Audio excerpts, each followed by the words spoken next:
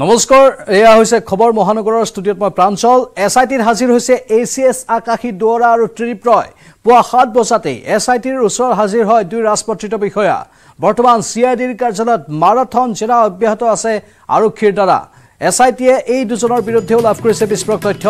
বক্ৰপথেৰে চাকৰিলৈ কোনো এক অদৃশ্য শক্তিৰ বাবে গ্ৰেপ্তাৰৰ পৰা সাৰি আছিল Akashi Duwara. A P S চিৰ সদস্য বসন্ত দলেৰ ঘৰত উদ্ধাৰ হৈছিল আকাশী দুৱৰাৰ বায়'ডাটা। আকাশী দুৱৰাৰ পৰীক্ষাত পৰীক্ষাৰ বহীত বঢ়াই দিয়া হৈছিল দুশ বিছ নম্বৰ। বৰ্তমান যোৰহাটৰ অতিৰিক্ত উপায়ুক্ত হিচাপে কৰ্মৰত আকাশী দুৱৰা। আনহাতে এক ডিচেম্বৰত এ পি এছ সুকন্যা দাসক হাজিৰ হোৱাৰ নিৰ্দেশ দিয়া হৈছে। গুৱাহাটী ক্ৰাইম ব্ৰাঞ্চৰ এ ডি চি পি হিচাপে কৰ্মৰত সুকন্যা দাস। লগতে আৰু এজন এ পি এছক হাজিৰ হোৱাৰ নিৰ্দেশ এছ আই টিৰ।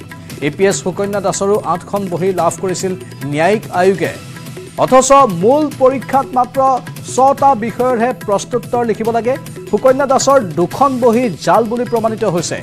ন্যায়িক আয়োগে দুবাৰকৈ তলব কৰিছিল সুকন্যা দাসক। দুবাৰকৈ তলবৰ পাছতো হাজিৰ হোৱা নাছিল A P S Sukanya Das.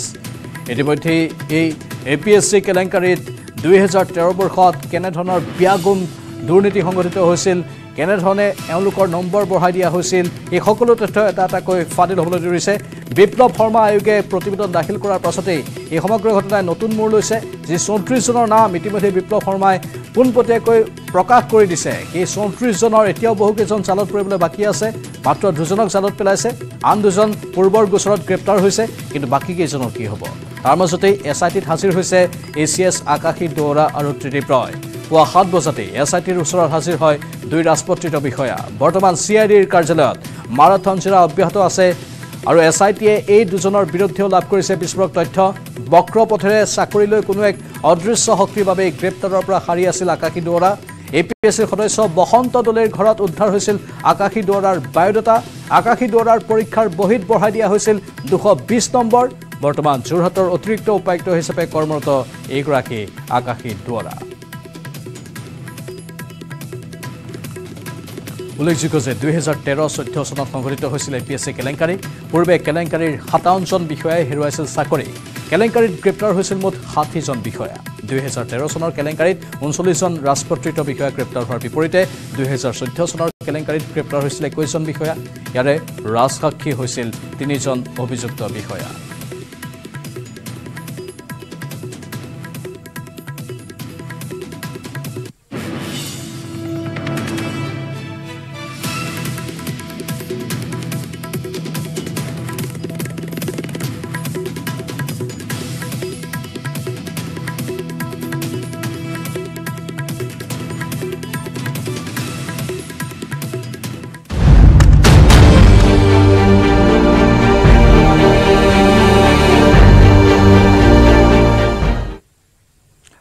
উত্তৰ কাছীৰ সুৰংগৰ ভিতৰত শ্বাসৰুদ্ধকৰ অভিযানৰ খবৰ আমি প্ৰতি মুহূৰ্তত আপোনালোকক জনাই আছোঁ। এই মুহূৰ্তত যিটো খবৰ আহিছে সেই খবৰটো হৈছে যে যিকোনো মুহূৰ্ততেই উত্তৰ কাছীৰ সুৰংগৰ পৰা বাহিৰলৈ উলিয়াই অনা হ'ব আবদ্ধ একচল্লিছজন শ্ৰমিকক। অন্তিম ক্ষণত উপনীত হৈছে সোতৰ দিনে চলা শ্বাসৰুদ্ধকৰ উদ্ধাৰ অভিযান।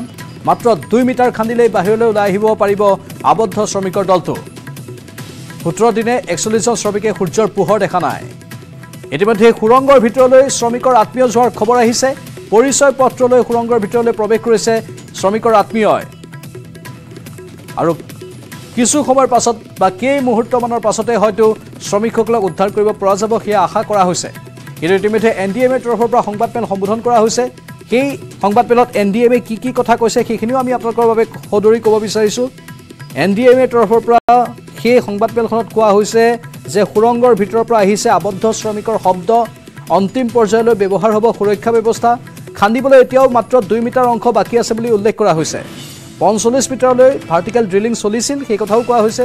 প্ৰত্যাহ্বান নেওচি চলিছে এতিয়া উদ্ধাৰ অভিযান। অৱশ্যে ভাৰ্টিকেল ড্ৰিলিং নহয় যি অগাৰ মেচিনেৰে খন্দা হৈছিল বা অগাৰ মেচিনেৰে সেই সমগ্ৰ পথছোৱা মোকলোৱা হৈছিল সেই অগাৰ মেচিন অৱশেষত অন্তিম সময়ছোৱাত বাৰ মিটাৰ থকাৰ সময়ছোৱাত ব্যৰ্থ হোৱাৰ পাছত তাত অন্য বিকল্প পদ্ধতি গ্ৰহণ কৰা হ'ল। সেই বিকল্প পদ্ধতিৰ জৰিয়তে বৰ্তমান শ্ৰমিকসকলক উদ্ধাৰৰ বাবে সকলো প্ৰচেষ্টা গ্ৰহণ কৰি থকা হৈছে। এয়া হৈছে অন্তিম সময়ৰ প্ৰচেষ্টা। সুৰংগৰ ভিতৰত আবদ্ধ শ্ৰমিকৰ শব্দ বাহিৰলৈ আহিছে। মাত্ৰ দুই মিটাৰ খান্দিবলৈ বাকী আছে। আৰু মাত্ৰ দুই মিটাৰ খন্দাৰ পাছতেই আবদ্ধ শ্ৰমিকসকলক উদ্ধাৰ কৰিব পৰা যাব। অৱশ্যে নিশাৰ অন্ধকাৰ লাহে লাহে নামি আহিছে। আৰু এই অন্ধকাৰ হোৱাৰ পাছত হৈছোঁ হয়তো কিছু প্ৰত্যাহ্বান হ'ব পাৰে কিন্তু সকলো প্ৰত্যাহ্বানক নেওচি আগবাঢ়িব পৰা যাব বুলি কোৱা হৈছে। এই মুহূৰ্তৰ কিছু দৃশ্য আমি দেখুৱাই আছোঁ। আমাৰ সাংবাদিক বৰ্তমান লাইভত আছে। তাজা জানকাৰী কিয় আহে यहाँ पर कोई राजनीति नजर नहीं आई लेकिन हाँ जरूर ये पूरा एक सिलकारा टनल का मुद्दा एक राजनीतिक मुद्दा जरूर बना क्योंकि इंटरनेशनल अम, परिदृश्य में ये रहा मुद्दा और नजरें रही पूरी दुनिया की इस पर तो ये साफ था कि इस पर सियासत जरूर होगी আৰু আমাৰ সাংবাদিকে পোনপটীয়া সম্প্ৰচাৰ তথ্যবোৰ জনাই আছে পৰৱৰ্তী সময়ত আমি আকৌ এবাৰ যাম কিন্তু এই মুহূৰ্তৰ কিছু দৃশ্যও আমি দেখুৱাই আছোঁ ইতিমধ্যেই মুখ্যমন্ত্ৰী পুষ্কৰ সিং ধামী আৰু আন আন লোকসকল উপস্থিত হৈছে আৰু তেওঁলোকে প্ৰতিটো দিশ ভালদৰে তন্ন তন্নকৈ চাই আছে। সকলোৱে অধীৰ আগ্ৰহেৰে অপেক্ষা কৰি আছে সেই সময়টোলৈ যিটো সময়ত এই শ্ৰমিকসকলক তাৰ পৰা উলিয়াই অনা হ'ব। সকলোৰে মাত্ৰ অপেক্ষা এতিয়া শ্ৰমিকসকলক যিকোনো প্ৰকাৰে উদ্ধাৰ কৰিব লাগে। ব্যাপক প্ৰস্তুতিৰে সকলো ধৰণৰ প্ৰচেষ্টা আজিৰ দিনটোত গ্ৰহণ কৰা হৈছে। বিশেষকৈ সোতৰ নম্বৰ দিন আজি আৰু আজিৰ দিনটোতেই সকলো শ্ৰমিককে উদ্ধাৰ কৰিব পৰা যাব বুলি আশা কৰা হৈছে। কিন্তু আমি পুনৰ কৈছোঁ এতিয়াও দুই মিটাৰ খান্দিবলৈ বাকী আছে। এই দুই মিটাৰ অংশ খন্দাৰ পাছতেই আবদ্ধ শ্ৰমিকসকলক উদ্ধাৰ কৰিব পৰা যাব। অন্তিম পৰ্যায়লৈ ব্যৱহাৰ কৰা হ'ব সুৰক্ষা ব্যৱস্থা সেই কথাও কোৱা হৈছে। প্ৰত্যাহ্বান নেওচি চলিছে উদ্ধাৰ অভিযান। ঘটনাস্থলীত চিনুক হেলিকপ্টাৰ মোতায়েন কৰা হৈছে। অৱশ্যে নিশাৰ ভাগত ব্যৱহাৰ নহ'ব এই চিনুক হেলিকপ্টাৰ। প্ৰয়োজনত কাইলৈ পুৱা পুনৰ আহিব বা অনা হ'ব চিনুক এই হেলিকপ্টাৰ। উদ্ধাৰ অভিযানত কিছু বিলম্ব হৈছে এই মুহূৰ্তৰ খবৰীয়া কাৰণ প্ৰথম অৱস্থাত ভবা হৈছিল হয়তো আৰু এঘণ্টাৰ ভিতৰতে উদ্ধাৰ অভিযান সমাপন হ'ব সকলোকে উদ্ধাৰ কৰিব পৰা যাব কিন্তু এতিয়া কিছু বিলম্ব হৈছে। এতিয়াও দুই মিটাৰ অংশ খান্দিবলৈ বাকী আছে। সুৰংগৰ বাহিৰলৈ ওলাই আহিবলৈ আৰু কিছু সময় লাগিব। অৱশ্যে সুৰংগৰ ভিতৰত অস্থায়ী হস্পিটেলো স্থাপন কৰা হৈছে। একচল্লিছজন শ্ৰমিকৰ বাবে আঠখন বিচনাৰ হস্পিটেল সাজু কৰা হৈছে। সুৰংগৰ ভিতৰতেই হ'ব শ্ৰমিকসকলৰ প্ৰাথমিক চিকিৎসা। শ্ৰমিকৰ বাবে সাজু কৰি ৰখা হৈছে ঋষিকেশ এইমছ। ট্ৰমা চেণ্টাৰকে ধৰি একচল্লিছখন বিচনাযুক্ত ৱাৰ্ড সাজু কৰা হৈছে। লগতে সাজু হৃদৰোগ আৰু মানসিক বিশেষজ্ঞ চিকিৎসক। হস্পিটেলত সাজু হৈ আছে ট্ৰমা চাৰ্জন ঋষিকেশ এইমছত তিনিখন অস্থায়ী হেলিপেড নিৰ্মাণ কৰা হৈছে। ঋষিকেশ এইমছত একেলগে অৱতৰ অৱতৰণ কৰিব পাৰিব তিনিখন হেলিকপ্টাৰ।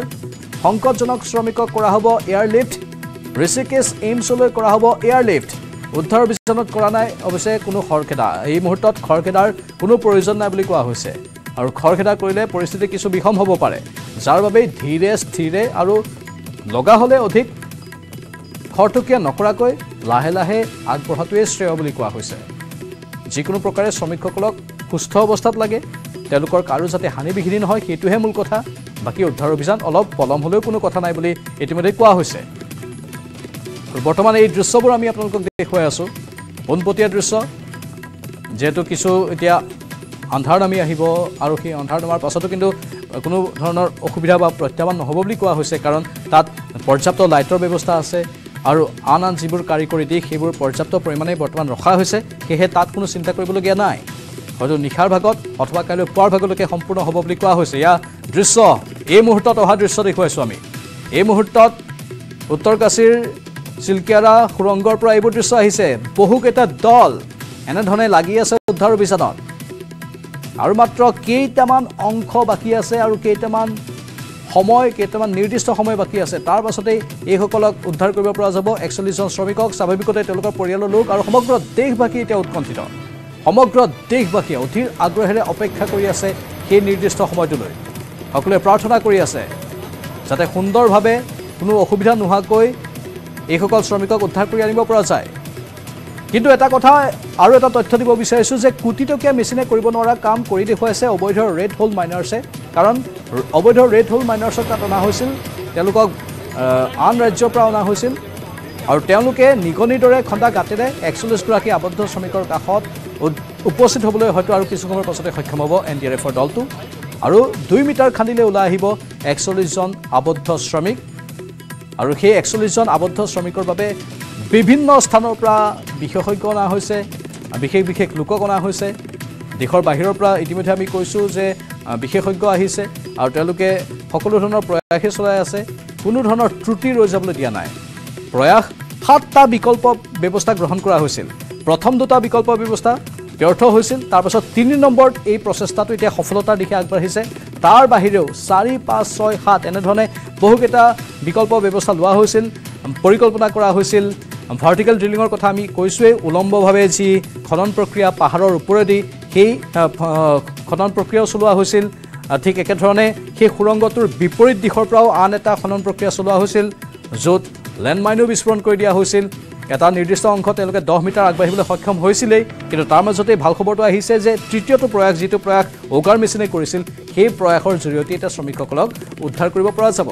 ৰিঙৰ দৰে আকৃতিৰ কিছু বিশেষ পাইপৰ ব্যৱস্থা কৰা হৈছে। যিবোৰ পাইপত চুচৰাই চুচৰাই অনা হ'ব শ্ৰমিকসকলক ষ্টেয়াৰ্ছৰ ব্যৱস্থা কৰা হৈছে আৰু সেই সকলো ধৰণৰ যিখিনি প্ৰ- প্ৰয়াস আছে সেই প্ৰয়াসখিনি এতিয়া সুকলমে আগবাঢ়ি থকা বুলি কোৱা হৈছে। কিন্তু কোৱা হৈছে যে আমি লাহে লাহে আগবাঢ়িম। বৰ বেছি খৰখেদা নকৰোঁ। বৰ বেছি খৰখেদা কৰিলে যিকোনো বিপদ হ'ব পাৰে। অশনি সংকেত নামি আহিব পাৰে। সেয়েহে আমি লাহে লাহে আগবাঢ়িম। এই মুহূৰ্তৰ খবৰ যে লাহে লাহে আগবঢ়াৰ সিদ্ধান্ত লোৱা হৈছে। অন্তিম সময় যিহেতু এইখিনি সেই অন্তিম সময়খিনিত লাহে লাহে আগবাঢ়িব শ্ৰমিকসকলক উদ্ধাৰৰ বাবে। আমাৰ কেইবাজনো সাংবাদিক বৰ্তমান তাত আছে। আমাৰ সাংবাদিকসকলৰ সৈতেও আমি যোগাযোগ স্থাপন কৰি আছোঁ। তেওঁলোকে এইবোৰ দৃশ্য তাৰ পৰা প্ৰেৰণ কৰি আছে। লাইভ কেমেৰা এক লাইভ কেমেৰা দুই লাইভ কেমেৰা তিনি লাইভ কেমেৰা চাৰি। এই চাৰিটা কেমেৰাত আপোনালোকে বিভিন্ন এংগলৰ পৰা দৃশ্যবোৰ প্ৰত্যক্ষ কৰি আছে আৰু মাজৰ সেই দৃশ্য গুহাৰ ভিতৰৰ দৃশ্য মাজৰ যিটো দৃশ্য এই মুহূৰ্তত আপোনালোকে প্ৰত্যক্ষ কৰিছে সেয়া अमित গুহাৰ और ভিতৰৰ वही দৃশ্য बात कि क्योंकि अलग अलग बातें जो आदमी अंदर जाता है उसके पास एक अलग जानकारी है और यहाँ सत्रह दिनों में हर किसी के पास कोई ना कोई अलग अलग जानकारी है ऐसे में जब तक ऑफिशियल कोई अनाउंसमेंट नहीं हो जाता तब तक ये फाइनली नहीं कहा जा सकता कि वो फाइनल टाइम आ चुका है कि मजदूर अब बाहर आने वाले या जब तक वो तस्वीर नहीं दिख जाती, वो विजुअल अंदर से नहीं आ जाता। जब तक पहला मजदूर सामने सामने आता हुआ नज़र आए, तब तक अभी ये बता पाना कि कितना वक्त और लगेगा। ये अभी भी एक सवाल है, अमित। ऐसा सवाल जिसका जवाब अभी किसी के पास नहीं है, अमित। এতিয়ালৈকে কাৰো ওচৰত উত্তৰ নাই ইয়াৰ। আনুষ্ঠানিক ঘোষণা নোহোৱালৈকে কোনো কথাই ক'ব নোৱাৰি। সেয়া আমাৰ সাংবাদিকে কোৱা কথা। এই মুহূৰ্তত যিখিনি তথ্য তেওঁলোকে লাভ কৰিছে আনুষ্ঠানিকভাৱে এতিয়ালৈকে ঘোষণা কৰা হোৱা নাই যে শ্ৰমিকসকলক উদ্ধাৰ কৰা হৈছে বা শ্ৰমিকসকলৰ একেবাৰে কাষলৈ গৈ পোৱা হৈছে। মাত্ৰ দুই মিটাৰ অংশ আছে বুলি ইতিমধ্যে অৱশ্যে এটা কথাত এই তথ্য দিয়া হৈছে চৰকাৰীভাৱে কিন্তু তাৰ বাহিৰে আন কোনো তথ্য এতিয়ালৈকে সদৰি কৰা হোৱা নাই। শ্ৰমিকসকলক তাৰ পৰা উলিয়াই আনিবলৈ আৰু কিমান সময় লাগিব কিমান সময় অপেক্ষা কৰিব লাগিব সেই সন্দৰ্ভত বিতং কোনো তথ্য চৰকাৰীভাৱে ঘোষণা কৰা হোৱা নাই। আমি আপোনালোকক জনাই থওঁ যে অসমৰ কোকৰাঝাৰ জিলাৰ দুজনকৈ শ্ৰমিকো সেই আবদ্ধ শ্ৰমিকসকলৰ মাজত আছে আৰু সেই দুজন শ্ৰমিকৰ এজন শ্ৰমিকৰ জ্যেষ্ঠ ভাতৃ গৈ তাত উপস্থিত আছে আৰু তেওঁৰ সৈতেও আমি পূৰ্বৰ বাতৰিসমূহত যোগাযোগ স্থাপন কৰিছিলোঁ। তেওঁ যথেষ্ট উদ্বিগ্ন অধিক উৎকণ্ঠাৰে তেওঁ অপেক্ষা কৰি আছে। সেই সময়টোলৈ যিটো সময়ত এই শ্ৰমিকসকল মুকলি আকাশৰ তললৈ আহিব আৰু যিটো সময়ত তেওঁলোকে বাহিৰৰ বায়ু পানী সেৱন কৰিব পাৰিব আৰু সেই সময়টোৰ বাবেই এতিয়া সকলোৱে মাত্ৰ অপেক্ষা কৰি আছে। এয়া পোনপটীয়া দৃশ্য আপোনালোকে প্ৰত্যক্ষ কৰি আছে আৰু আমি এই ঘটনাৰ প্ৰথম দিনৰ পৰাই ধাৰাবাহিক গতিত বাতৰি সম্প্ৰচাৰ কৰি আছিলোঁ আৰু স্বাভাৱিকতে দেশৰ প্ৰধানমন্ত্ৰীগৰাকীও প্ৰতি মুহূৰ্তত উদ্বিগ্ন হৈ পৰিছে। তেওঁ ঘনে ঘনে ফোন কৰি আছে। লগতে আন যিসকল বিশেষজ্ঞ আছে বিশেষজ্ঞসকলৰ সৈতেও কেন্দ্ৰীয় প্ৰতিগৰাকী মন্ত্ৰী নেতা তেওঁলোক যোগাযোগত আছে। আৰু এই উদ্ধাৰ অভিযানৰ বাবে যিখিনি প্ৰয়াস কৰিব লাগে সকলো ধৰণৰ প্ৰয়াসেই কিন্তু গ্ৰহণ কৰা হৈছে।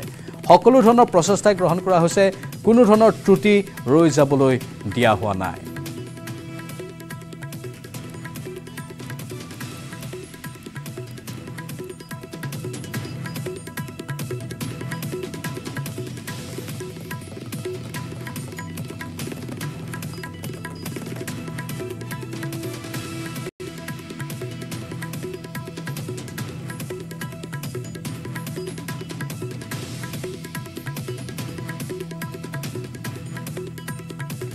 সুদীৰ্ঘ সোতৰদিনীয়া চৰম উদ্বিগ্নতা আৰু দুশ্চিন্তাৰ পিছত কিছু আশাৰ ৰেঙনি দেখিবলৈ পাইছে কোকৰাঝাৰৰ ৰামফল বিলৰ দুই শ্ৰমিকৰ পৰিয়ালে।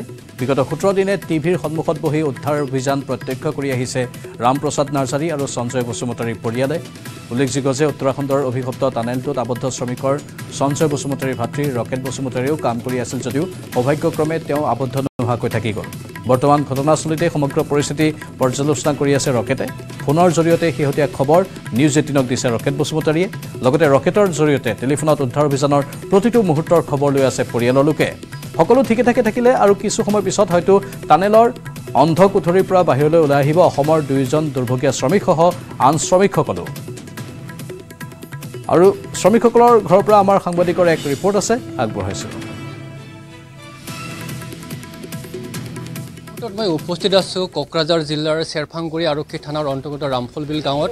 যোৱা বাৰ নৱেম্বৰৰ পৰা আজি আঠাইছ নৱেম্বৰ হ'ল সেই সোতৰটা দিন তেওঁলোক উত্তৰ কাশীৰ যি চিলকিয়াৰা টানেল সেই টানেলত আবদ্ধ হৈ আছে। কিন্তু আজি ইয়াৰ কাৰণে এটা ভাল খবৰ যে যিসকল শ্ৰমিক তাতে আবদ্ধ হৈ আছে তেওঁলোকে ইতিমধ্যে উদ্ধাৰ কৰাৰ প্ৰস্তুতি প্ৰায় সম্পূৰ্ণ হৈছে আৰু আশা কৰা হৈছে আজি নিশাটোৰ ভিতৰত তেওঁলোক উদ্ধাৰ কৰিব পৰা যাব। এই মুহূৰ্তত মই জানিব বিচাৰিম ৰামপ্ৰসাদ নাৰ্জাৰীৰ পিতৃ আছে তেওঁৰ কি ক'ব? এই নতুন কি খবৰ শুনিছে বা জানিব পাৰিছে খুৰা? আমিতো খবৰটো শুনিব পৰা নাই আমি নিউজো দেখা নাই আজি এতিয়া। আমি বোৱাৰীৰ মুখৰ পৰাহে শুনিছোঁ বোলে আজি সন্ধিয়া পৰ্যন্ত উলিয়াব পাৰিব। তাৰমানে উলিয়াবৰ কাৰণে চেষ্টা কৰি আছে আৰু কি চৰকাৰে। আমি এইটোৱে জানো। হয় তেখেতৰ পত্নী আছে ৰামপ্ৰসাদ নাৰ্জাৰীৰ পত্নী তেওঁৰ পৰা জানিব বিচাৰিম। এই কি কি কথা শুনিছে কি বা গম গম পাইছে কি গম পাইছে পাইছে গমটো যে আজি মোবাইলত মই দেখিছে নিউজটোত ভালে খবৰ শুনি পাইছে। এইটো কামটো ছাকচেছ হৈছে আৰু ৰামপ্ৰসাদ মোৰ বুঢ়া ভাই ৰমেন নাৰ্জাৰী এইটো দিয়া আছে। ভাবি কিবা চিন্তা কৰিব নালাগে। কামটো আজি ছাকচেছ হ'ব এৰকম কথা কৈ দিছে আৰু। এইখিনি কথা শুনি পেলাই মনটো কেনেকৈ লাগিছে? মনটো শান্তি লাগিছে ভগৱানটা আশীৰ্বাদ দিছে মোৰ ভক্তি কৰাটো আশীৰ্বাদ দিছে আৰু ভগৱানটো। হয় আমি। দেখিছোঁ এতিয়াও আপোনালোকে কিবা চাকি বন্তি জ্বলাইছে বা হয় হয়।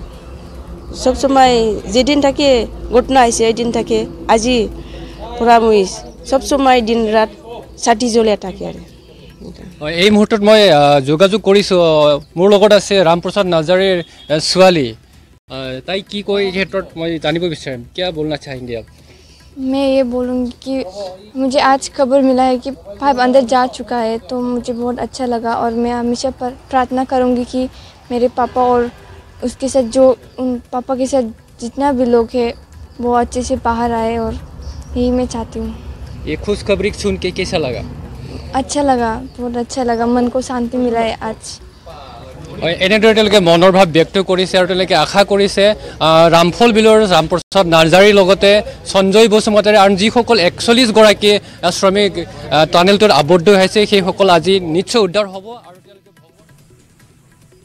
ইফালে সুৰংগৰ পৰা আবদ্ধ একচল্লিছজন শ্ৰমিকক উদ্ধাৰৰ অন্তিম অভিযান চলি থকাৰ সময়তেই এক অলৌকিক পৰিঘটনা পৰিলক্ষিত হ'ল ঘটনাস্থলীত। অভিশপ্ত টানেলটোৰ বাহিৰত এনেকুৱা এক অলৌকিক আকৃতি পৰিলক্ষিত হৈছে যিটো এতিয়া সৰ্বত্ৰ চৰ্চাৰ বিষয় হৈ পৰিছে। সুৰংগটোৰ ঠিক সমীপত থকা বাবা বৌখনাগ মন্দিৰৰ পিছফালে থকা পানীত পৰিলক্ষিত হোৱা অলৌকিক আকৃতিটো ভগৱান শিৱৰ দৰে। এই ফটো আৰু ভিডিঅ' সম্প্ৰতি ভাইৰেল হৈ পৰিছে ছ'চিয়েল মিডিয়াত। এই ঘটনাক কেন্দ্ৰ কৰি সমগ্ৰ অঞ্চলটোত চৰ্চা হৈছে যে মহাদেৱেহে যেন উদ্ধাৰ অভিযানত বিশেষ সহায় কৰি শ্ৰমিককেইজনৰ প্ৰাণ ৰক্ষাত সহায় কৰি আছে।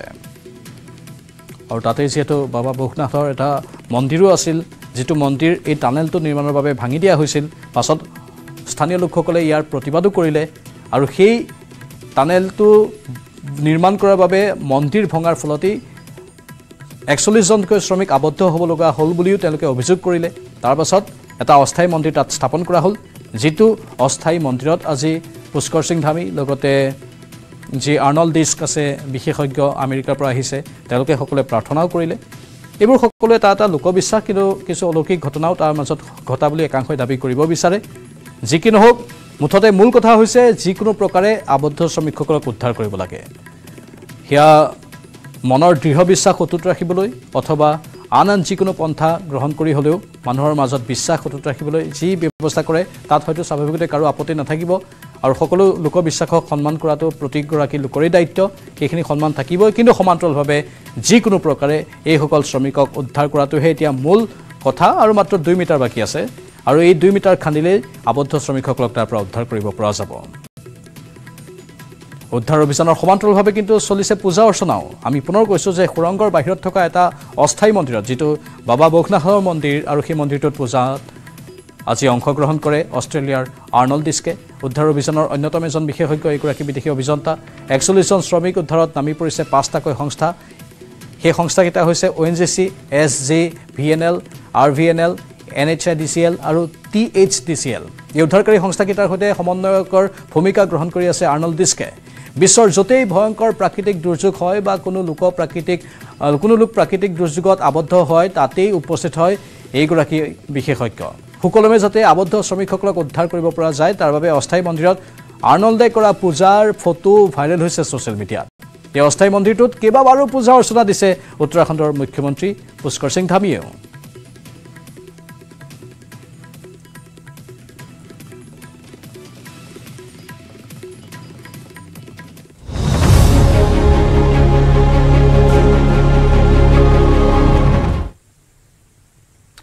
আজি গুৱাহাটীৰ বৰ্ষাপাৰাত ক্ৰিকেট ষ্টেডিয়ামত ভাৰত আৰু অষ্ট্ৰেলিয়াৰ তৃতীয়খন টি টুৱেণ্টি মেটছ আজি সন্ধিয়া সাত বজাত আৰম্ভ হ'ব এই খেলখন। সূৰ্য কুমাৰ যাদৱ নেতৃত্বাধীন টীম ইণ্ডিয়া আৰু আলহী দল টীম অষ্ট্ৰেলিয়াৰ ক্ৰিকেটাৰসকল ইতিমধ্যে ৰাওনা হৈছে বৰ্ষাপাৰালৈ অষ্ট্ৰেলিয়াৰ বিৰুদ্ধে পাঁচখনীয়া টি টুৱেণ্টি শৃংখলাত ক্ৰমাগতভাৱে দ্বিতীয়খন খেলত জয়লাভ কৰিছে টীম ইণ্ডিয়াই। আজি বৰ্ষাপাৰাত জয়েৰে শৃংখলা দখলৰ চেষ্টা চলাব টীম ইণ্ডিয়াই। আমি পোনপটীয়া সম্প্ৰচাৰো আগবঢ়াম। বৰ্তমান বৰ্ষাপাৰা ক্ৰিকেট ষ্টেডিয়ামৰ বাহিৰত আৰু ভিতৰত আমাৰ সাংবাদিক আছে। আৰু আমি আপোনালোকক দেখুৱাম তাত বৰ্তমান কেনে এক পৰিৱেশৰ সৃষ্টি হৈছে যিহেতু বহু সংখ্যক দৰ্শক উপস্থিত হৈছে। চাৰি বছৰ লগে লগে গেট গেট খুলি দিয়া হৈছিল দৰ্শকসকলৰ বাবে। আৰু দৰ্শকসকলে ইতিমধ্যেই ষ্টেডিয়ামৰ ভিতৰত প্ৰৱেশ কৰিছে। আমাৰ জ্যেষ্ঠ সাংবাদিক বিপুল বৰ্মন অহৰহ আছে লাইভত।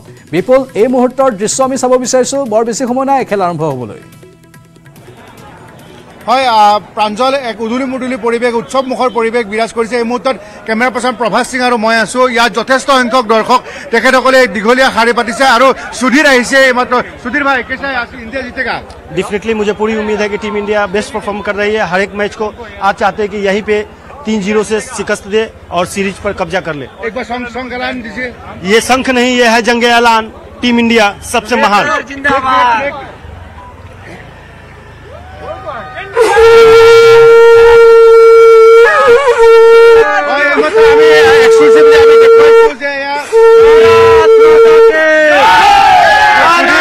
সুধীৰ ভাই আমাৰ লগত আছে আৰু সুধীৰ তেওঁ বিহাৰৰ পৰা আহিছে বিশ্বৰ বিভিন্ন প্ৰান্তত যেতিয়া খেল থাকে আমি এক্সক্লুচিভলি কেৱল নিউজ এইটিন অসম নিৰ্দিষ্টে এই মুহূৰ্তত দেখুৱাইছোঁ how are you Good mate, how are you? Yes. I'm very good. Six time world champs. Six time world champs. This is doesn't matter. We'll, we'll win three two. অষ্ট্ৰেলিয়াৰ সমৰ্থক আমাৰ ইণ্ডিয়াৰ সুধীৰ সুধীৰ গৌতম সুধীৰ ভাই thank U হয় এনেধৰণে আমি exclusively কেৱল news eighteen Assam north ইষ্টে দেখুৱাইছো যে বিশ্ববিখ্যাত আমাৰ ভাৰতবৰ্ষৰ যি শচীন তেণ্ডুলকাৰৰ ভক্ত এয়া সুধীৰ গৌতম চুৰীয়ে এতিয়া এই ষ্টেডিয়ামত প্ৰৱেশ কৰিছে অষ্ট্ৰেলিয়াৰ ছাপৰ্টাৰৰ সৈতে আৰু এই মুহূৰ্তত আমি দেখুৱালো কেৱল নিউজ এইটিন অসম নৰ্থ ইষ্টে যে আমি কেনেধৰণে সুধীৰে এই ষ্টেডিয়ামলৈ প্ৰৱেশ কৰিছে আৰু এয়া বৰ্ষাপাৰা ষ্টেডিয়ামত এক উদুলি মুদুলি পৰিৱেশ বিৰাজ কৰিছে ভাৰত আৰু অষ্ট্ৰেলিয়াৰ যি খেল এই টীম ইণ্ডিয়া আৰু অষ্ট্ৰেলিয়াৰ মাজৰ আৰু এই খেলখনক লৈ গভীৰ উৎকণ্ঠা যথেষ্ট সংখ্যক দৰ্শকো ইয়াত ভিৰ কৰিছে। তেখেতসকলে বিভিন্ন প্ৰান্তৰ পৰা আহিছে। শদিয়াৰ পৰা ধুবুৰীৰ পৰা আপোনাৰ বৰাক উপত্যকাৰ পৰা ব্ৰহ্মপুত্ৰ ভেলী আৰু আপোনাৰ উত্তৰ পূৰ্বাঞ্চলৰ বিভিন্ন প্ৰান্তৰ পৰা দৰ্শকসকল আহিছে। তেওঁলোকে তেওঁলোকে এই খেলখনত ভাৰতবৰ্ষ যেনেধৰণে আপোনাৰ ফাইনেলত বিশ্বকাপৰ পৰাজয় বৰণ কৰিছিলে তাৰ পুতক তুলি আজি বৰ্ষাপাৰাত জয়লাভ কৰক বুলি আৰু এই এই মুহূৰ্তত আমি দীঘলীয়া শাৰী দেখুৱাইছোঁ। কেমেৰা পাৰ্চন প্ৰভাস সিঙে দেখুৱাব। প্ৰ- প্ৰভাস সিং আপুনি আৰু আমি আমি এই মুহূৰ্তত লাইনত আছোঁ আৰু এই দীঘলীয়া শাৰী আমি দেখুৱাইছোঁ যে এই এনেধৰণে আপোনাৰ দীঘলীয়া শাৰী প্ৰাঞ্জল আপুনি দেখিছে যে আমাৰ টেলিভিশ্যনৰ পৰ্দাত এই গোটেই বৰ্ষাপাৰাৰ সন্মুখত ষ্টেডিয়ামৰ সন্মুখত এক বীৰ দি বাট নোপোৱা এক পৰিৱেশ উদুলি মুদুলি পৰিৱেশ চৌদিশে উৎসৱমুখৰ পৰিৱেশ। কাৰণ টীম ইণ্ডিয়া আৰু টীম কেংগেৰু বাহিনীৰ মাজত যি সাত বজাৰ লগে লগে খেল আৰম্ভ হ'ব আৰু এতিয়া কিছু সময় পিছত ট্ৰছ হ'ব গতিকে তাৰ পিছত খেল আৰম্ভ হ'ব আৰু সেই যে ঊনৈছ তাৰিখে যে ভাৰত যে অষ্ট্ৰেলিয়াৰ হাতত পৰাজয় কৰিছিলে তাৰ পুতক তুলিব বুলি সকলোৱে জনাইছে। এয়া দেখিছে যে miss you M S Dhoni লিখিছে। এম এছ ধোনীৰ কথা কোনেও পাহৰিব পৰা নাই। কাৰণ সদায় সৰ্বকালৰ বাবে এগৰাকী শ্ৰেষ্ঠ খেলুৱৈ ক'ৰ পৰা আহিছা ভাইটি? আমি নগৰ সামগ্ৰীৰ পৰা আহিছোঁ। আজি খুব ভাল লাগিছে। হয়। Rinku Singh Singh. Is king Rinku Rinku Singh Rinku Singh. ক'ৰ পৰা আহিছে? আমালোকে বৰ্ষাপাৰা পৰা আহিছো। অ। আজি ইণ্ডিয়া জিতিব সেইটোৱে।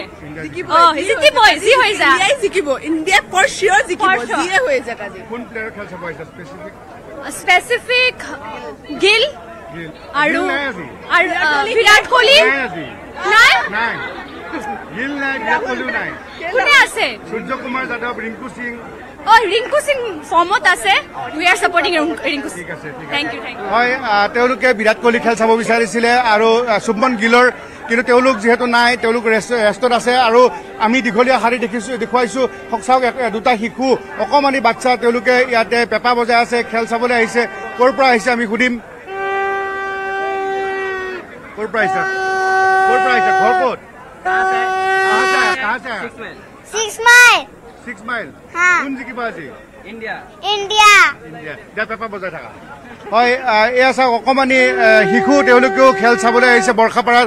Aro haman teolo ami দেখুৱাইছোঁ যে ইয়াত দীঘলীয়া শাৰী বৰ্তমান সময়ত বৰ্ষাপাৰা ষ্টেডিয়ামত গতিকে আহ, ইয়াত সমান্তৰালকৈ আমি আহ, পোনপ্ৰথমে আমি সুধীৰ গৌতমৰ যি তেওঁ শংখ লৈ ষ্টেডিয়ামত প্ৰৱেশ কৰে তেওঁৰ শংখৰ আমি সৈতে আমি লাইভৰ পৰিৱেশ দেখুৱাইছোঁ তেওঁলোকে আহি আছে এয়া সুধীৰৰ ফুটেজ তেওঁ মূল গেটেৰে ষ্টেডিয়ামত প্ৰৱেশ কৰিব শচীন তেণ্ডুলকাৰৰ ভক্ত শচীন নেই কিয় বলেগা कोई बात नहीं है टीम इंडिया तो खेल रही है हम टीम इंडिया को फाइनल शेयर में करने था तो उसी टाइम जो हार गया था आपको कैसा लगा बहुत बुरा लगा क्योंकि 10 मैच अच्छे रन बनाए लेकिन टीम इंडिया बहुत अच्छी खेली लेकिन दुर्भाग्यपूर्ण 10 मैच जीतने के बाद ग्यारहवें मैच में स्कोर नहीं हो पाई जिसके कारण टीम इंडिया हारी। लेकिन पूरी उम्मीद थी 2011 की जीत टीम इंडिया करती रिपीट लेकिन बैड लक अभी जो नेक्स्ट वर्ल्ड कप है टी ट्वेंटी वर्ल्ड कप का टाइम में come please come world cup का टाइम में क्या करेगा?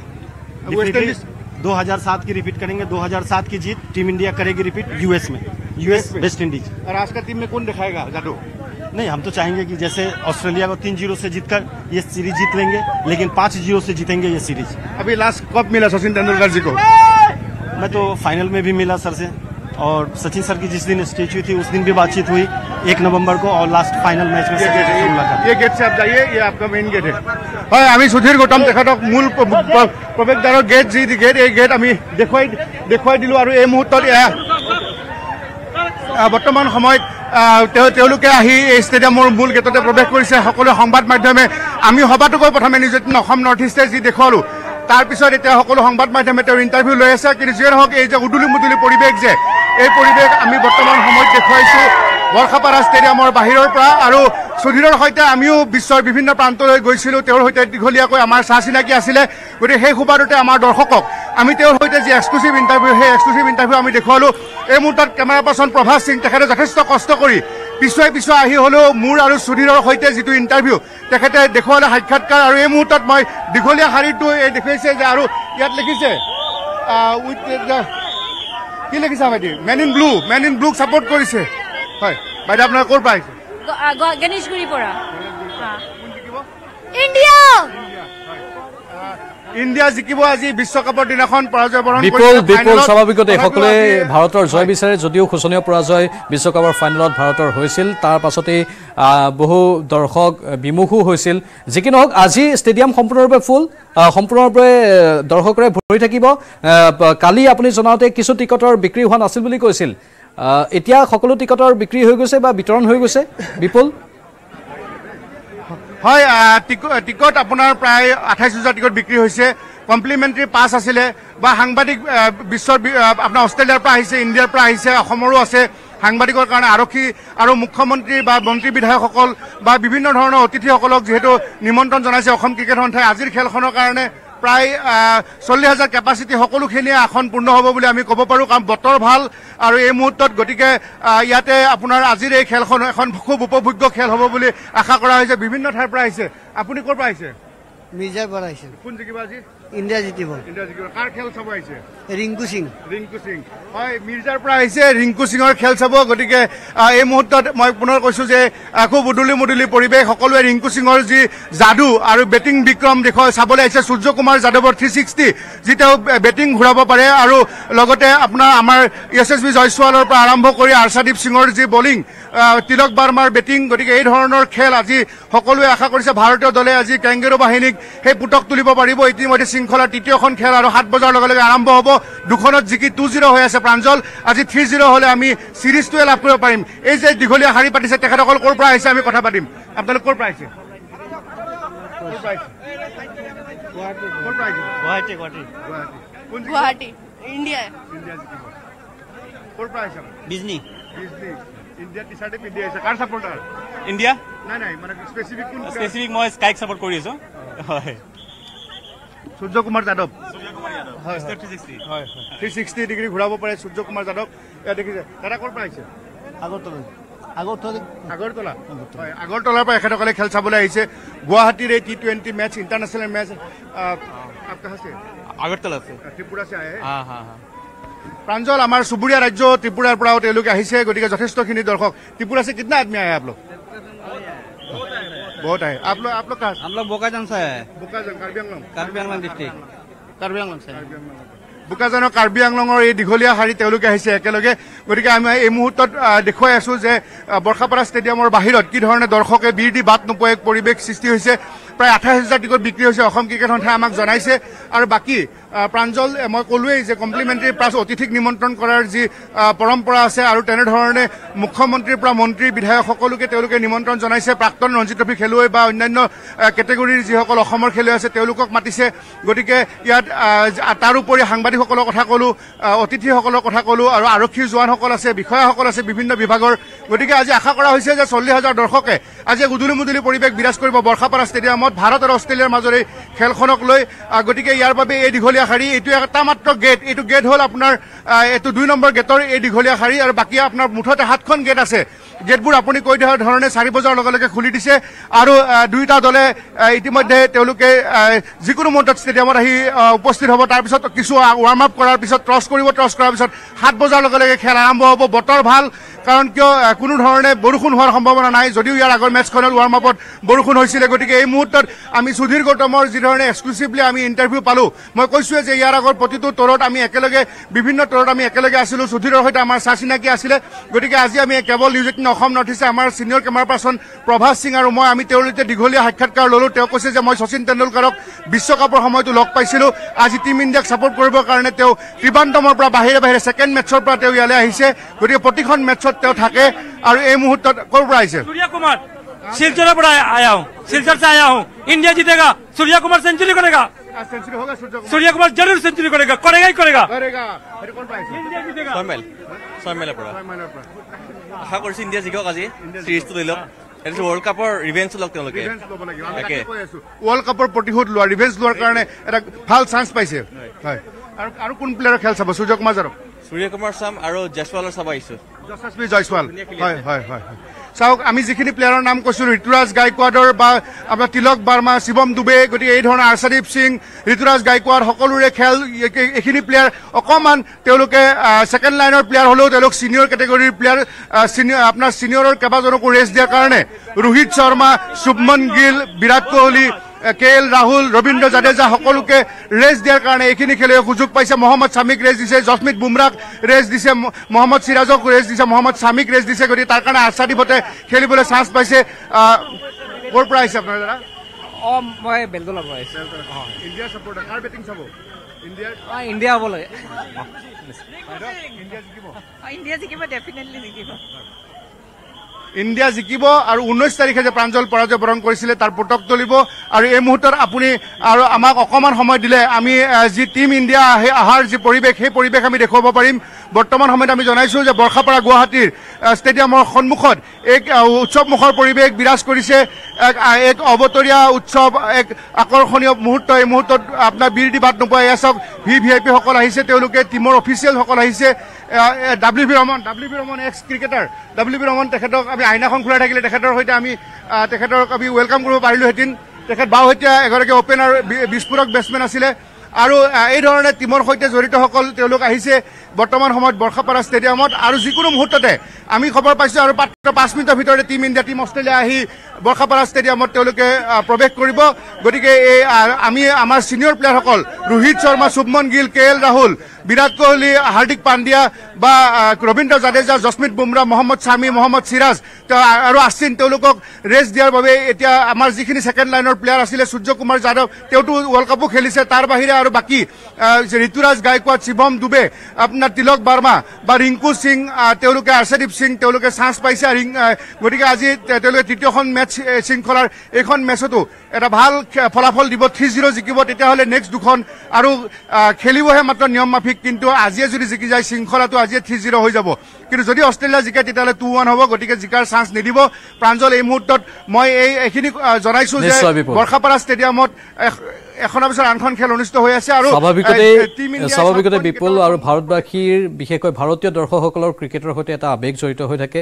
বিশ্বকাপত শেষ খেল খেলখনতে মানে ফাইনেল খেলখনতেই আশাহত কৰিলে নিৰাশ কৰিলে ভাৰতীয় ক্ৰিকেট প্ৰেমিক ভাৰতীয় ক্ৰিকেট দলটোৱে যিহেতু শোচনীয়ভাৱে পৰাজয় কৰিলে সেই দিনটোত। আৰু স্বাভাৱিকতে সেই দিনটোত ভাৰতীয় ক্ৰিকেট দলৰ খেল অতি বেয়া আছিল নিম্নমানৰ আছিল। আৰু তেওঁলোকে ভালদৰে খেলিবও নোৱাৰিলে যাৰ বাবে অষ্ট্ৰেলিয়াৰ হাতত পৰাজয় বৰণ কৰিবলগীয়া হ'ল। আৰু আজি অৱশেষত তাৰ পুতক ল'ব বুলি বহুতে কৈ আছে। কিন্তু বিশ্বকাপৰ এক অন্য বিশেষত্ব থাকে আৰু বিশ্বকাপ আৰু স্বাভাৱিকতে অন্য শৃংখলাৰ মাজত বহুতখিনি আকাশ পাতাল পাৰ্থক্য থাকে। কিন্তু আমি ইতিমধ্যে কৈছোঁ যে আমি আৱেগিক ক্ৰিকেটক লৈ সেয়েহে এই টুৰ্ণামেণ্টত জয়ী হ'লেও সেই দুখটো কিছু পাতলাবলৈ চেষ্টা কৰিম। কিন্তু বিশ্বকাপৰ আৰু এইবোৰ টুৰ্ণামেণ্টৰ স্বাভাৱিকতে আকাশ পাতাল পাৰ্থক্য থাকে। পোনপটীয়া সম্প্ৰচাৰ বিপুল আগবঢ়াই থাকিব। পৰৱৰ্তী সময়তো আমি দৃশ্যবোৰ দেখুৱাই থাকিম।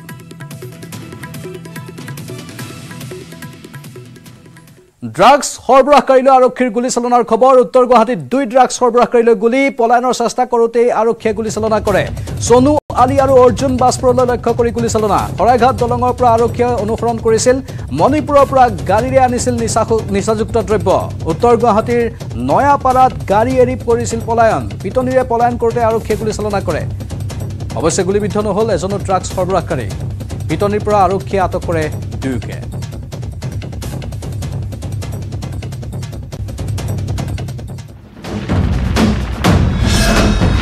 ভাৰতৰ গৌৰৱ গোটেই বিশ্বতেই।